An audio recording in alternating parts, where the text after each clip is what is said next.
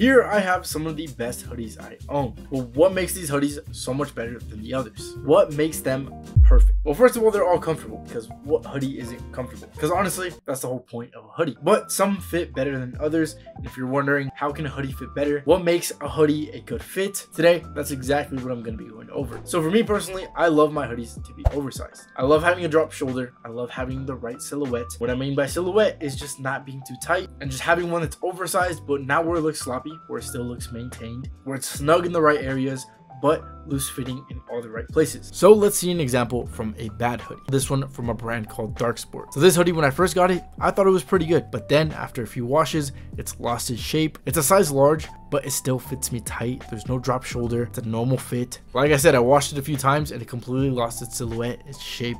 The material is just not that good. And I'm not a really big fan of those drawstrings. Sure, the graphic is cool, but it's just not a good fitting hoodie. That's why you gotta learn what makes the perfect hoodie. So that drop shoulder is something that you should definitely look for when looking for the perfect fitting hoodie. I like my hoodies to be snug on my wrists, so that way it just feels a lot more cozy and high quality. Now I just spent the last few minutes talking about hoodies in a very passionate way. So now that you know what makes a perfect hoodie in my opinion, I'm also gonna be going over where to find the perfect. Honestly, that's equally as important. Of course, there are those go-to places to get the best hoodies right now, but sometimes it can be quite expensive. So I have those on the list and I have some affordable options. So let's start off with that because in this channel, I always try to talk about affordable options because I know firsthand how it is to not have the money to afford all those expensive trends.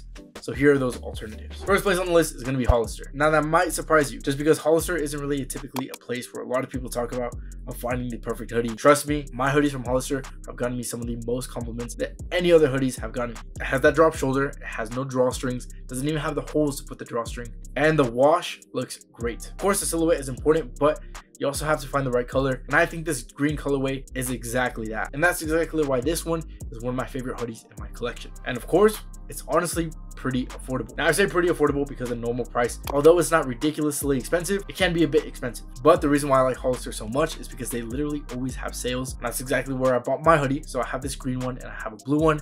Bought both of them on sale and it was such a great decision. The next one is going to be from Essentials. Now I definitely had to throw this on the list just because this hoodie has definitely gotten me the most compliments than literally any other hoodie that I've collected. Honestly, don't know how many times I'm to say the word hoodie in this video. But let's be real, this has the perfect silhouette. It has every check mark in every aspect of the perfect hoodie. It's heavyweight, so it definitely deserves a good place on this list. Now, again, the brand is Essentials. If you're into the YouTube men's fashion scene, then you will know exactly who this is from. It's from Teaching Men's Fashion, so don't get it confused with Fear of God Essentials, We'll talk about that in a bit. Now, there are a few cons when it comes to this hoodie. I think the only con when it comes to this hoodie, it's honestly pretty pricey. Now, keep in mind, this is probably my most expensive hoodie. However, it's definitely the most high quality one. So just take that with a grain of salt. I definitely think it is a good bang for your buck because you're getting what you pay for. So again, this is my personal favorite hoodie. So if you have that money to spend, I definitely recommend that one. But if you don't, I have some other options as well. For example, the next hoodie that I'm going to be talking about is going to be from Minimal. Now, this one is kind of an underrated brand in my opinion. Not a lot of people talk about this brand, but they definitely should, especially when they're talking about their hoodies. So I own one from them, and I gotta say, I did mess up a little bit when I bought this hoodie. It should definitely be ranked higher, but this is kind of my fault. So one, I didn't realize that it's a lightweight hoodie, and when they say lightweight, they are not playing around. This feels super thin, so I'm not wearing it anytime soon, just because right now it's freezing outside, for me at least, because I'm from California, typically doesn't get too cold in the first place, but for me, freezing. But maybe it's the spring or the summer. It's a bit warmer outside and you want to wear a hoodie, this would be the good option. Now, I like the gray colorway. It's a bit faded, kind of a little vintage. I definitely think that's a thumbs up for minimal. Another mistake that I made when getting this hoodie, I accidentally got the wrong size. Now, because it was oversized, I ended up sizing down, but I definitely think because it's oversized, you should go true to size. So yeah, that was completely my fault. So it definitely should be ranked higher, but for now, it's kind of lower on the list. Now, a hoodie that I definitely fell in love with is going to be the one from Hours Collection. Now, I threw this one later on on the list just because I've worked with Hours in the past, so I didn't want to sound too biased, but I do gotta say, this one is a perfect hoodie. Especially right now that it's cold, it's heavyweight and it does a really good job of keeping you warm. Only thing I'm really not a fan of is the clip in the middle. I have no idea why it's there.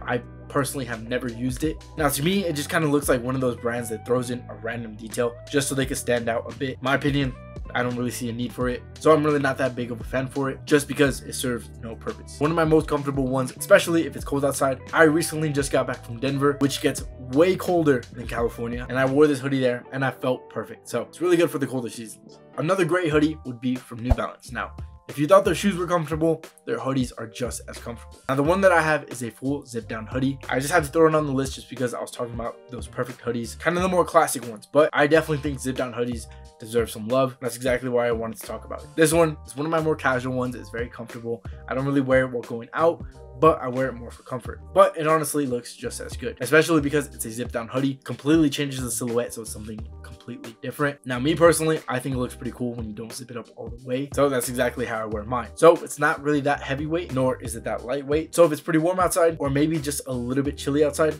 this would be one of my hoodies that I'd be wearing. Now, I'm not that big of a fan of graphic hoodies, but I definitely own a few. One of the ones I should definitely mention is gonna be one from Tommy Hilfiger. Tommy Hilfiger is definitely one of the more popular hoodies out there, especially with their classic logo from the Tommy jeans. This hoodie, in my opinion, just looks great, but it is a little bit expensive. The one that I have is kind of a twist of it. It's a collab with Tommy Hilfiger and Bugs Bunny. I think it's something cool. I think it's something different. All right, so those are my favorite hoodies, but of course there are plenty of other places that are very popular right now that a lot of people talk about having the best hoodies. But the only thing is, I don't own those hoodies. But I did want to give it a quick mention just in case you were in the market for that same hoodie. So the first one, definitely got to talk about, it's going to be the Fear of God Essential hoodies. This is definitely on my list. I've been talking about buying one for the longest.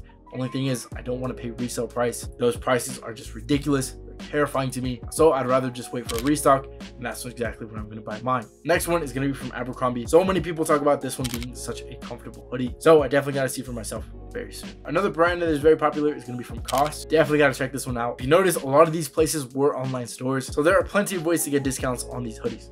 You don't really have to drop a ton of money. Now, if you need help with shopping online, I have a video on the proper way to shop online. So if you want to check that out right now, I'm going to leave a button for you to do that right here. Other than that, I hope you have a great rest of your day. I'll see you in the next video. Later.